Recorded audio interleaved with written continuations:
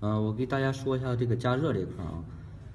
你像这个界面上，这个界面上啊，第一个这是暖风模式，小风扇这个模式呢是空调模式啊。如果想在暖风模式下加热，按 OK 键，零七啊零七零六零五，这是代表的七个功率啊。按左右键呢任意调节这个功率啊。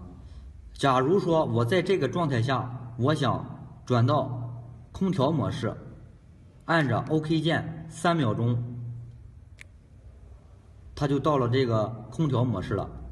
空调模式呢，对应的呢就是这个温度的变化，我可以选五摄氏度，一直到三十五摄氏度，这个呢温度呢可以任意去调节，这个空调模式啊。